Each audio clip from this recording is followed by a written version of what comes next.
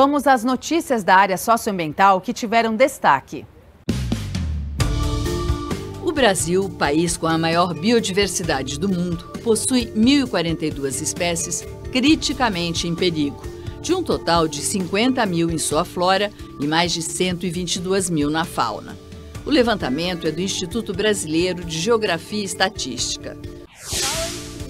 Em reunião com os setores do governo, a pedido da Petrobras, a ministra do Meio Ambiente, Marina Silva, disse que foi técnica a decisão do Ibama de negar pedido de licença para explorar petróleo na bacia do rio Amazonas e que agora cabe cumprir a lei.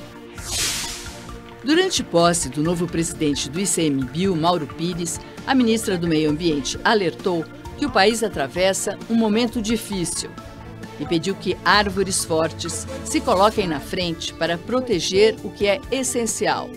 Entidades ambientalistas e ativistas também reagiram ao que classificam de boiadas que o Congresso Nacional deixou passar, com o apoio do Centrão e da bancada ruralista.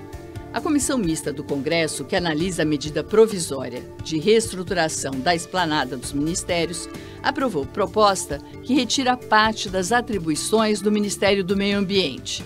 Entre as alterações estão a transferência do Cadastro Ambiental Rural ao Ministério da Gestão, a incorporação da Agência Nacional das Águas, a integração e desenvolvimento regional e a gestão dos resíduos sólidos, que passaria ao Ministério das Cidades.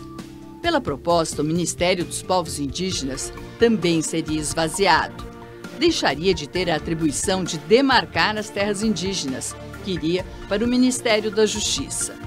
O relatório aprovado pela Comissão do Congresso ainda precisa passar pelo plenário da Câmara e do Senado. Outra medida muito criticada foi a decisão da Câmara dos Deputados de ignorar mudanças feitas no Senado e retomar trechos de uma medida provisória que enfraquecem as regras de proteção da Lei da Mata Atlântica. O texto segue para o presidente Luiz Inácio Lula da Silva, que poderá vetar ou sancionar as medidas que facilitam o desmatamento do bioma.